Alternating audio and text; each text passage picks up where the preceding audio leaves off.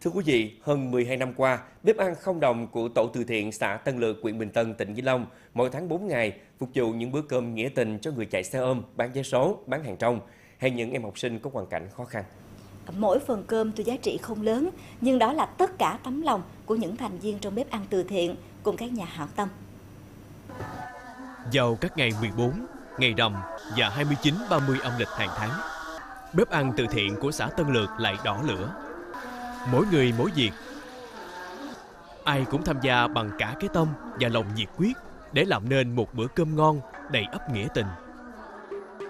Mấy cô thì à, đồng chung ta do ai cũng làm à, tiếp được hết. Đó, cho ích lợi cho gia đình và cho xã hội và cho tất cả bà con. Con học xong buổi sáng thì con sang đây con ăn cơm để uh, cho buổi chiều đi học.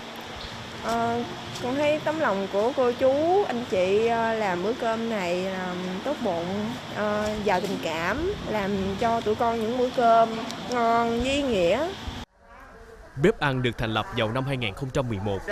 Lúc đầu thì chỉ vài người tham gia nấu mỗi ngày khoảng 60 suất ăn. Nhờ sức lan tỏa và sự đồng tình ủng hộ của người dân, cũng như mạnh thường quân ai có chi góp nấy, nên hiện nay vào các ngày nấu ăn định kỳ hàng tháng thì có trên 50 người đến hỗ trợ nấu, gần 1.000 suất ăn miễn phí mỗi ngày. Đi xin rau củ quả ở các dựa và từ trong nhà vườn để tôi đi cho những cái bếp a bếp cơm từ thiện làm sao mà cho có cái buổi cơm cho bà con ăn được uh, ngon miệng là tôi rất là vui. Lúc đầu thì khoảng năm sáu chục phần ăn thôi. Nhưng mà dần dần thì à, mọi người biết đến, người ta hỗ trợ nhiều hơn.